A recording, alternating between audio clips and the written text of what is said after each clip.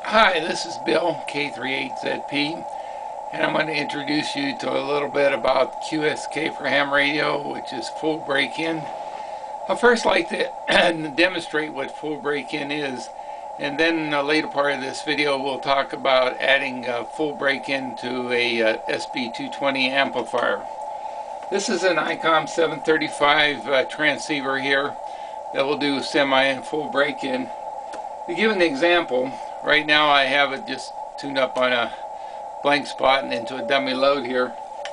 Now, if normally when you're working semi-break-in, when you transmit, you can hear all the sound disappears out of the radio.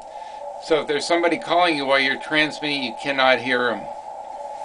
Now, if I put it in full break-in, you notice that immediately I can hear if anybody's on frequency trying to call me, um, if, if I'm calling a DX station and he's calling somebody else, I'll immediately hear him and, and be able to get back and uh, get back in sync with him. So that's uh, what full break-in is. The next part of this we'd like to talk about adding an SB220 uh, to full break-in. The uh, first part of uh, connecting up the uh, amplifier here is to um, connect up the antenna relay here which then goes to the amp key out of the QSK box here. And that's all the control you need for the amplifier here. Now the the RF connections this is the RF input and that will come from the back of the QSK box here where it says amplifier input and then the transceiver goes in here. And then this amplifier output comes from here.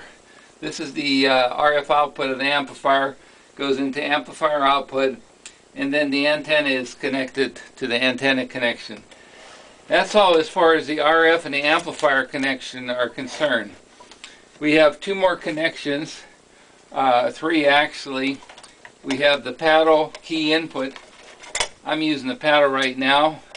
And um, the uh, key paddle output this is what goes to the transceiver and keys the transceiver uh, with the paddle or key whatever you're using.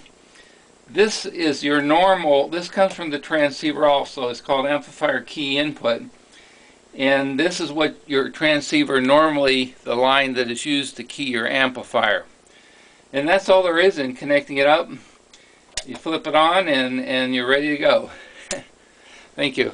Okay, now I'd like to demonstrate you uh, uh, to you uh, using QSK with the amplifier. First of all, we'll go back here again and show that we're now using uh, QSK uh, transceiver here. If I take it out of full break-in, you'll hear the noise goes away. So you, you could not hear uh, a station if they were calling you. Okay, so now we're in full QSK, and now I'll turn you, I'll show you on the amplifier uh, what's going on here. Now the amplifier is online, and I'm in full break-in, and you, uh, as you can see, you can hear rather, it's still running full break-in.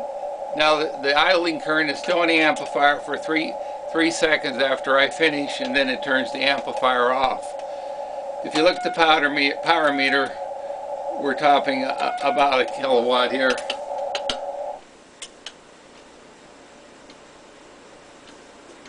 If I put a, a, tone in here, you can see we're putting about a kilowatt output, uh, if you can read the Heathkit uh, power meter.